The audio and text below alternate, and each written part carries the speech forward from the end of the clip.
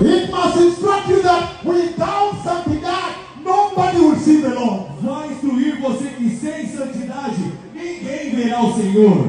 Eita Deus. The book of Isaiah 22, O livro de Isaías 22, versículo 22. Versículo 22. Isaiah 22, 23 says leaders that attended the meeting. E eu vi lá o Senhor entre os pastores sêniores da liderança daquela cidade. Thank you for welcoming me to your city. Obrigado por me dar boas-vindas à sua cidade. May the Lord bless you eternally together with your wife is somewhere.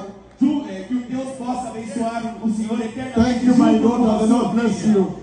Obrigado, minha filha. Que Deus te Thank you abençoe. for receiving.